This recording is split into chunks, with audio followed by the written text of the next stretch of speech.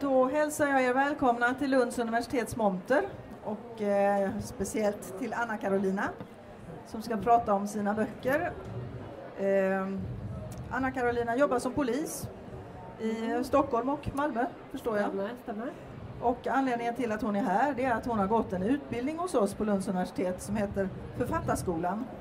Och eh, vi vill gärna lyfta fram och se hur lyckat det kan bli att gå den här utbildningen och vad som kan hända med en, av- en författare som, vi kan, som har skapats på eh, eh, Författarskolan. De här två böckerna, det här är den första, Stöld av babian och Står dig ingen åter. Det är otroligt spännande polisromaner måste jag säga. Det var riktiga bladvändare. Ja, Jag ville verkligen läsa tvåan. Eh, I böckerna så får vi följa en polis som heter Amanda och eh, hennes ibland lite privata jakt på droghandlare och hallickar. Men du kanske kan börja med att berätta om din utbildning för det är ju mest anknutet till Lunds universitet. Ja, men precis. Eh, jag gick ju på Författarskolan då som är två år heltidsstudier. Och ja, vi jobbar ju mycket i eh, basgrupper, vi läser varandras texter, vi har en, vi, det är mycket olika genrer. Så man, man får kanske en uppgift på en viss genre och, och sen eh, så träffas man igen och läser varandras texter och det är där man lär sig mest på tycker jag. Innan så kanske jag mest läste böcker och så tycker man de är bra och man vet inte riktigt varför. Nu måste man verkligen, nu ska man ge feedback till den, man, eh, den text man har läst så då måste man ju själv analysera varför man tycker eh, om någonting eller inte så, och, och, och lära berätta vad, vad den kan göra för att göra texten bättre och det, det var ju det i första hand som man lärde sig jättemycket på de här åren. Eh, Den här boken, skrev du den under un- utbildningen alltså? Ja, jag Den hade första. med mig halva, halva manuset var redan färdigt när jag började på Författarskolan. Eh, så att eh, sista delen eh, gjorde jag där och sen är det jättemycket redigering och så efteråt såklart men jag hade, hade med mig ungefär halva in kan man säga. Så du höll på med den i två år kan man säga då? På Nej, jo, nej jag hann till och med börja på den här under utbildningen. Gjorde jag. Så att, eh, jag skrev klart eh, första utkastet på Stöld av babian ungefär eh, efter första terminen. Ja. Gjorde jag. Men sen så satte jag och redigerade på den sen hela våren. ja, det är lite arbete med det också. Eh, hade jag vetat hur mycket det var hade jag aldrig skrivit en bok faktiskt, från första början. Det är eh, nästan lika mycket jobb som att skriva hela, hela boken, eh, själva redigeringen. Eh, hur fick du idén till de här böckerna? Eh, jag jobbar ju själv som polis och får ju massa idéer och inspirationer därifrån. Så det var där någonstans jag- jag började fundera på att jag själv skulle skriva kriminalromaner. Och sen vill jag ju ha lite karaktärer som inte är precis eh, som de brukar vara i kriminalromaner. Att, det, att man följer en polis och den ska utreda brottet. Utan jag vill ha lite mer de här moraliska dilemman också om, eh, om en polis inleder en relation med en eh, kriminell och vilka konsekvenser får det? När kommer, när kommer de andra få reda på det? När kommer hennes kollegor få reda på det? Eh, vad händer då? När kommer hans polare få reda på det? Och hur ska de lösa det här? Lite den här förbjudna kärleken. Mycket liksom. förbjudna. Ja. Och det är ju faktiskt det som händer också. Det, det är ju en kvinnlig polis. Varför valde du en kvinnlig huvudroll? ja, det kanske är för att jag själv är kvinna och polis egentligen. Att det är lätt att skriva om det man känner till och sådär. Och jag ville ju ha det här eh, moraliska dilemmat också. Då var det liksom Adnan i mina böcker som eh, planerar ett värdetransportrån och sen en, en kvinna då som är polis. Som egentligen, hon har ju en egen agenda till varför hon blev polis. Det är för att det är på grund av en tragisk händelse som hände med hennes syster. Så hon blir ju polis bara för att ta reda på vad som hände med henne. Så hon är egentligen inte så lojal mot Polismyndigheten så. Utan eh, det är ju det är för att hon vill eh, ta reda på en egen sak.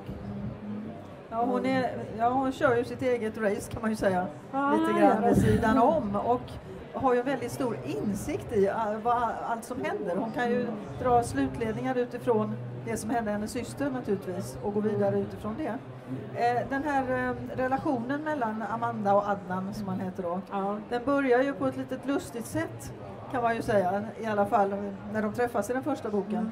Och jag tänkte jag skulle läsa bara några rader för att visa språket du har valt. Eh, jag blev först väldigt sådär så tänkte jag nej, åh, det här kan jag inte läsa. Jag, jag är litteraturvetare, jag kan inte läsa den här texten. Den börjar så här. Fuck, fuck, fuck. Adnan slängde en blick i black, backspegeln igen och såg att den förbannade Saaben fortfarande följde efter. Ingen tvekan, de var ute efter honom. Gasa eller dö, helvete! Och så lite längre ner. Han kollar in gassen i kassan han betalade. Gussen. Gussen i, i kassan han betalade. Stora bomber, måste vara sillisar och så vidare och så vidare. Är detta ett språk som du har mött i ditt jobb? Ja, absolut. Det är det. det är lite jargongen på gatan och sådär. Bland ungdomar. Det är det? Ja. ja. Alltså det är lite, lite, det var lite chockerande att läsa en bok. Men du gör det ju så konsekvent sen. Ja. Du, du Ja. eh, karaktäriserar ju dina... Nej, men jag, jag har ju mycket det språket när det handlar om just Adnan och sen eh, blir det ju en skillnad när man följer Amanda sen till Mm. exempel. Så att jag försöker använda den jargong som de här personerna har i, ver- i verkligheten och det är den jargongen jag själv möter på gatan. Det är ju intressant för oss som inte är på gatan på det sättet i alla fall. Eh, man ser en förändring sen i den boken i Ja. Adnan, Adnans språk. Mm. Han blir lite mer normal, eller man säger. Ja, han vill ju egentligen ta sig ur den här kriminella världen sådär, men det är ganska svårt som, eh, han har ju alltid varit, eh, växt upp med det här och eh, liksom vet inget annat än eh, sina kriminella kompisar och sådär. Men någonstans vill han ju något annat och nu har han träffat Amanda och lite sådär så att ja, det ändras ju hans sätt också såklart. Och det förstår man ju också genom språket, att det Ja. ändras också. Ja. Och det tyckte jag var lite... Det var, det var bra att få den inblicken att man förstår att han är på väg någon annanstans. Mm. Det är inte bara genom handlingarna utan att han förändras ju faktiskt också Mm. i sätt, sitt sätt att se på, på brotten. Mm. Och han försöker ja, på något sätt komma ur det men kommer ändå inte riktigt ur det kan man ju säga. Nej, det uppstår ju lite problem där på vägen såklart. Annars blir det inte spännande. Nej, precis. Sen har du ju eh, några poliser också då, mer än Amanda. Mm. Till exempel den här mannen som nu hette Magnus hette han. Ja. Det är ju en fruktansvärd polis får man ju säga. Mm. Mm. Ligger det någon sanning i det eller är det helt fabulerat? Nej, det, det ligger mycket sanning i det här. Det gör det. Eh, kanske inte att en och samma polis gör alla de här sakerna. Alltså han har ju väldigt eh, dåligt självförtroende, det är svartsjuka i hans relation och så vidare. Han eh, misshandlar sin fru och så. Och, eh, han monterar upp en videokamera i damernas omklädningsrum till exempel. Och de här sakerna, det har hänt eh, i verkligheten. Det Så det. är lite så här saker som jag tar med som Polismyndigheten har velat lägga locket på egentligen för det är inte så snyggt då att det Nej. sprids till media. Eh, men det har hänt. Och hans relation till den undre världen? Finns den också? Ja, ja, just hans relation, alltså det är ju en fiktiv berättelse men Ja, det är klart att, eh, att, typen. eh, att det har förekommit eh, sådana saker också. Men eh, inte kanske just det jag berättar Nej, om men- med honom så. Ja. Eh, då måste jag ju naturligtvis fråga, vad sa dina kollegor när böckerna kom? Nej, men jag har faktiskt bara hört positivt än, att de tycker den är väldigt bra och sådär. Gör det. Annars var man lite mer orolig att, eh, att de ska tycka så att man avslöjar för mycket Ja. saker, eh, hur man utreder saker och sådär, hur vi, vi gör. Men eh, nej, jag har bara hört positivt. Men de negativa kanske inte har kommit till mig. Det kanske pratas i korridorerna, jag vet inte. Men du har i alla fall inte, inte hört detta i alla fall. Ehm, om du bygger vidare på dina ehm, gestalter i de här böckerna i en kommande bok, jag vet inte om du håller på med någon? Har du Ja, jag håller på med en trea, det gör jag. Ja. Mm. Eh, får vi se fler nya eh, figurer i de böckerna eller kommer du dra vidare med Amanda och Ad- Eh, Adnan? Amanda och Adnan kommer att vara med, men vi har eh, en- ny eh, som är huvudkaraktär, också som är eh, kriminell då och eh, eh, ja, inom droghandeln. Ja, det ska bli spännande verkligen att följa dem. Mm. Eh, den här mörka bilden du ger av polisväsendet, eh, du känner inte att du lämnar ut er till oss på ett sätt som inte är... Ja, Som kanske- inte skulle vara positivt menar du, en positiv bild? Eh, Nej, men det var lite som jag sa.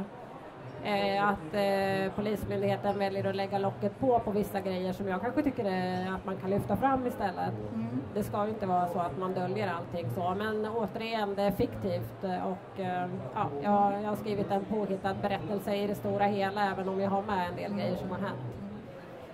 Vad har du med dig från din utbildning nu när du fortsätter på egen hand?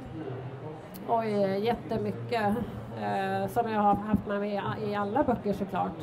Men det är väl framför allt att eh, ta hjälp av, av andra som eh, läser och skriver mycket så att eh, de får tycka till. Man blir lätt blind för sin egen text och sådär. Att den får vila länge gärna. När man har skrivit ett första utkast så kanske den ska ligga i några månader och sen läser man det igen.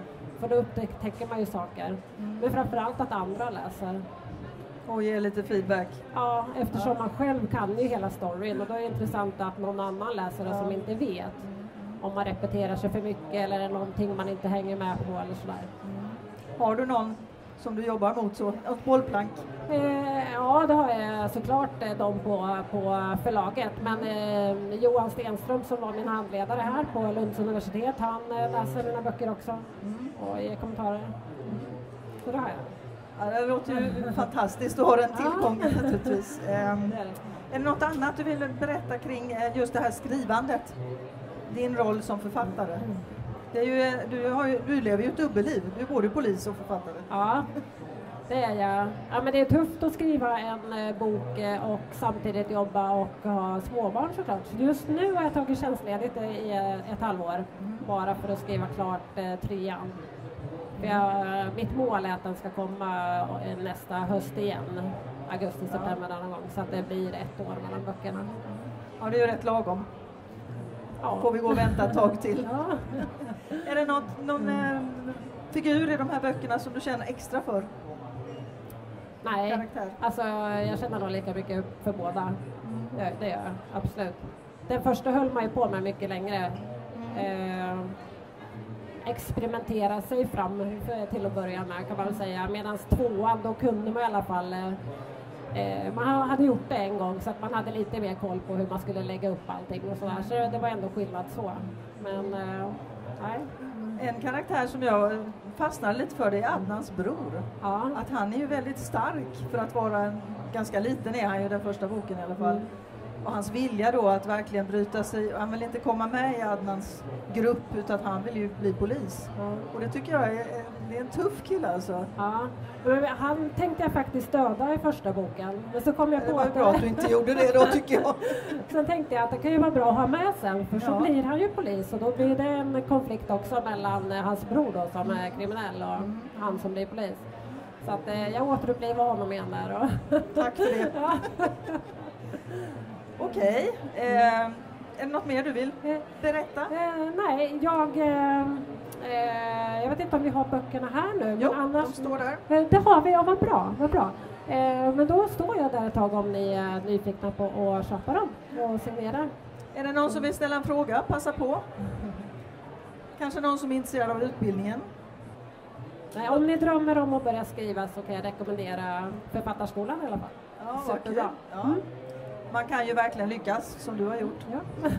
Tack så jättemycket för att jag fick prata med dig. Tack.